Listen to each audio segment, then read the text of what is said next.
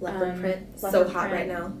So H A U T. Um, so yeah, you like that.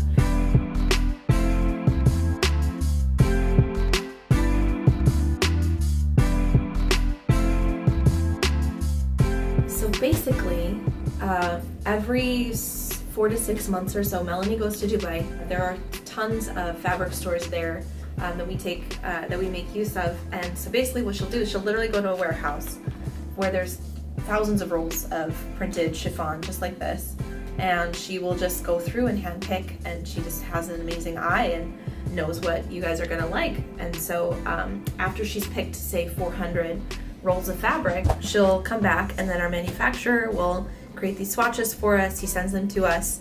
We number them, you know, and track all of them, and then we pick 40 or 50 a month, get them produced, and get them on our website. Oh my gosh, I got so many of Yeah. that Fashion one. beauty. People That's are gonna my freak favorite out. Tell me about it. When I saw it, I was like, oh, oh everyone stop what you're doing. It, it looks kind of chaotic, but there is a lot of thought that goes into choosing like seasonality, colors, patterns. Obviously, there's going to be some in there that either get repeated or um, she can feel differently, like when she brings them back and like we look through them here. Or sometimes even just because she's in a warehouse with like thousands of rolls Yeah. of fabric, like one will just fall in the pile by mistake. So it shows up and she's like, I didn't pick that. That one you know, usually we notice it because it's like neon pink and Yeah. has a terrible pattern, and we're just like, what happened? Wait, what's that word she uses? Oh, um, arif. No, no, no. Um, It's not Arabic. It's not Arabic. It's Oh, like okay. a slang that's She has really those too. funny. Uh, gross so disgusting or Wait, did she say that? yeah. I've never heard her say that.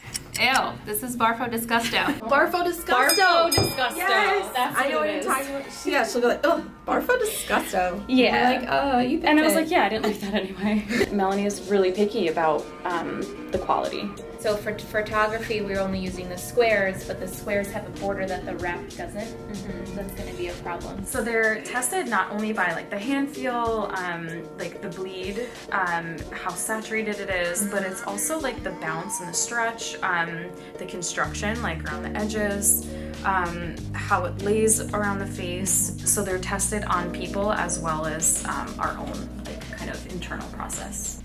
There was one roll where it was the perfect stage, but they only had one roll. And then this one, I scored, I think, like five rolls. Yeah.